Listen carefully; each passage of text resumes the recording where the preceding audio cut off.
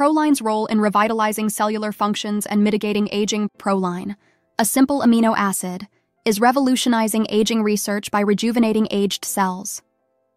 This discovery shifts the aging narrative, showing Proline's potential to reverse cellular aging.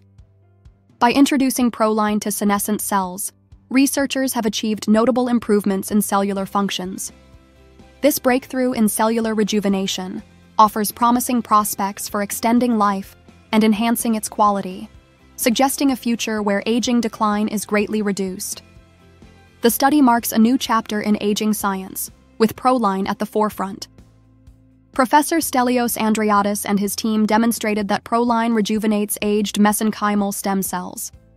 Published in Cell Reports, their study shows Proline enhances mitochondrial function and promotes mitophagy, offering hope for reversing aging and transforming aging process approaches. Mesenchymal stem cells struggle to produce proline, crucial for stress response and bioenergetics, leading to compromised mitochondrial activity. By supplementing MSCs with proline, researchers improved mitochondrial function through AMPK activation and Parkin upregulation, enhancing mitophagy. This reduced aging indicators like DNA damage, marking significant progress in cellular rejuvenation. In a controlled setting, researchers found proline induces mitophagy, activating AMPK and upregulating Parkin, enhancing mitochondrial clearance and metabolism.